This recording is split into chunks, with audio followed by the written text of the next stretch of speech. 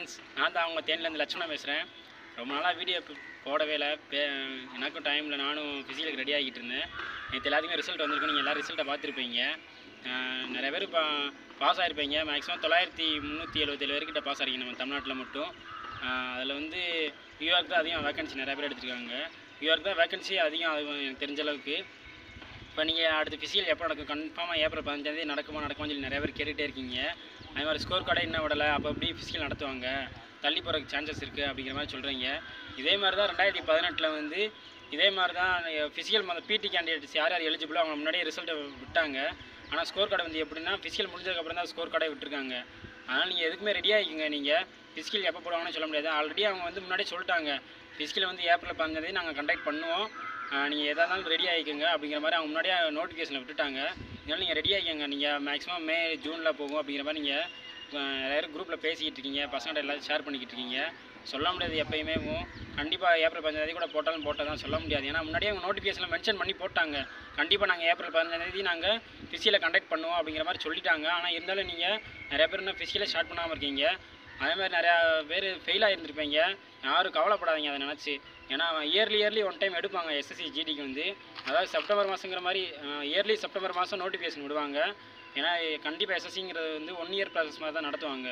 September மாதம் வர செப்டம்பரில் கண்டிப்பாக போடுவாங்க. நீங்கள் இப்போ இருந்தே ப்ரிப்பேர் பண்ணிகிட்டே வந்தீங்கன்னா ஈஸியாக நீங்கள் ஸ்கோர் பண்ணலாம். அதிகமாக உத்தரப்பிரதேசில் இருந்து தான் அதிகம் நிறையா பேர் பாஸ் ஆயிருக்காங்க. அதாவது ஒன் ஒன் டுவெண்ட்டி த்ரீ உமன்ஸே கட் ஆஃப் வந்தீங்கன்னா ஒன் டுவெண்ட்டி த்ரீ தான் ஃபஸ்ட்டு மார்க்காங்க ஆனால் இங்கே தமிழ்நாட்டில் பார்த்தீங்கன்னா வெறும் forty eight fifty eight seventy எயிட்டுங்கிற மாதிரி தான் நிறைய பேர் ஸ்கோர் பண்ணியிருக்காங்க. நீங்கள் இப்போ இருந்தே ப்ரிப்பேர் பண்ணால் தான் நீங்கள் அதிக மார்க் நீங்கள் ஸ்கோர் பண்ணால் தான் நீங்கள் சேஃப் ஜோனுக்குள்ளே போக முடியும். நிறையா பேர் ஹை ஸ்கோர் எடுத்துகிட்டு இன்னும் பண்ண முடியாமல் இருக்கீங்க நீங்கள் ஃபிசிக்கலு அதே மாதிரி எஸ்எஸ்சி ஜிடியை பொறுத்தளவு கண்டிப்பாக அக்யூரேட்டாக ஹைட் வந்து ஒன் செவன்ட்டி இருக்கணும். அதே மாதிரி one sixty nine point nine இருந்தாலும் ரிஜெக்ட் பண்ணுவாங்க கண்டிப்பாக அதே மாதிரி ஜஸ்ட்டும் கண்டிப்பாக எயிட்டி சென்டிமீட்டருக்கு ப்ளஸ் வச்சுக்கோங்க நீங்கள் ஜஸ்ட்டுக்கு டெய்லி ஒர்க் அவுட் பண்ணுங்கள் அதே மாதிரி ஹைட் ஒர்க் அவுட்டும் பண்ணி ஹைட் ஒர்க் அவுட் இன்க்ரீஸ் பண்ணுறதுக்கு நீங்கள் ஒர்க் அவுட் பண்ணிகிட்டே இருங்க. கண்டிப்பாக ஃபைவ் கிலோமீட்டருக்கு வந்து நீங்கள் ஃபிசிக்கல் வந்து அக்யூரேட்டாக நல்லா பண்ணால் மட்டும்தான் அவங்களால எலிஜிபிள் இதாக பாஸ் பண்ணவே முடியும். ஃபைவ் கிலோமீட்டர் வருங்கிறது சாதாரண விஷயமே கிடையாது. கண்டிப்பாக என்ட்ரன்ஸ் லெவல் வந்து அதிகமாக இருக்கணும். நான் அடுத்தடுத்த அப்டேட் உங்களுக்கு கொடுத்துட்டே இருக்கேன். நீங்கள் வாட்ச் பண்ணிகிட்டே இருங்க வீடியோவை. உங்கள் ஃப்ரெண்ட்ஸுக்கும் ஷேர் பண்ணுங்கள் சரிங்களா? வீடியோவில் வந்து உங்களுக்கு வேறு ஏதாச்சும் ஒரு போடணும்னா சொல்லி சொல்லி சொல்லுங்கள் நான் கமெண்ட் செக்ஷனில் கமெண்ட் பண்ணுங்கள் அடுத்து என்ன பற்றின உங்களுக்கு டவுட் வேணாலும் நீங்கள் கமெண்ட் பண்ணுங்கள் கண்டிப்பாக நான் உங்களுக்கு கிளியர் பண்ணுவேன். இது two thousand eighteen batch two thousand eighteen ப்ராசஸே இவங்க ஃபாலோ பண்ணி வராங்க இப்போ. எனக்கு தெரிஞ்ச அளவுக்கு. ஏன்னா இவங்க ஃபிசிக்கல் முடிச்சதுக்கப்புறம் ஸ்கோர் கார்டு விடுவாங்க. ஏன்னா டுவெண்ட்டி செவனில் தான் ஸ்கோர் கார்டு விடுவேங்கிற மாதிரி சொல்லியிருக்காங்க. ஏப்ரல் டுவெண்ட்டி செவனு சரிங்களா? மேக்ஸிமம் அவங்க பத்து நாள்லேயே அவங்க ஃபிசிக்கல் முடிச்சுட்டு அதுக்கப்புறம் ஸ்கோர் கார்டு விடுவாங்கன்னு நினைக்கிறேன். மேக்ஸிமம் டூ டைம்ஸ் வந்து கட் ஆஃப் வந்து போடுவாங்கன்னு நினைக்கிறேன். ஏப்ரல் டுவெண்ட்டி செவனுக்கு அப்புறம் ஒரு கட் ஆஃப் விடுவாங்க. அதுக்கப்புறம் மே மாதம் சம்திங்கில் ஏதாச்சும் கட் ஆஃப் விடுவாங்க. மெடிக்கல் சம்திங்கில் வந்து ஒரு கட் ஆஃப் விடுவாங்க. ரெண்டு கட் ஆஃப் விடுவாங்கன்னு நினைக்கிறேன். அநேகமாக ஏன்னா டூ தௌசண்ட் எயிட்டீன் பேட்சில் இதே மாதிரி தான் நடந்துச்சு. இப்போயே நார்மல் செஷன் பண்ணி போனஸ் மார்க் எல்லாத்தையும் ஆட் பண்ணாங்களா என்னன்னு சொல்லி தெரியல. நான் நார்மல் செஷன் வந்து கண்டிப்பாக நடந்திருக்கு. ஏன்னா யூஆர் கேட்டகரியில் forty four mark forty seven mark எடுத்தவங்க எல்லாத்தையுமே எலிஜிபிள் பண்ணியிருக்காங்க அப்போ நார்மல் செஷன் கண்டிப்பாக நடந்திருக்கு. நிறைய பேர் நார்மல் செஷன் பண்ணியிருக்காங்களா பண்ணியிருக்காங்களா நிறைய பேர் கேட்குறீங்க நார்மலைசேஷன் பண்ணி தான் கண்டிப்பாக மார்க் போட்டிருக்காங்க.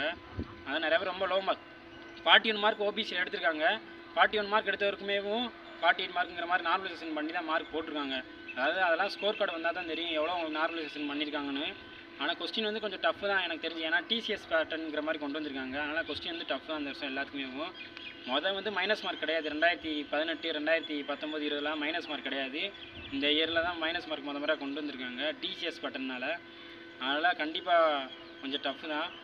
நீங்கள் இப்போ இருந்தே ப்ரிப்பேர் பண்ணால் தான் அடுத்து செப்டம்பரில் வர எக்ஸாம்ஸில் வந்து நீங்கள் ஈஸியாக கிளியர் பண்ண முடியும். கண்டிப்பாக இயர் இயர்லி செப்டம்பர் மாதம் நோட்டிஃபிகேஷன் வந்துடும் எக்ஸாம் வந்து கண்டக்ட் பண்ணுறதுக்கு எப்படி நவம்பர் டிசம்பர் ஆயிரும்.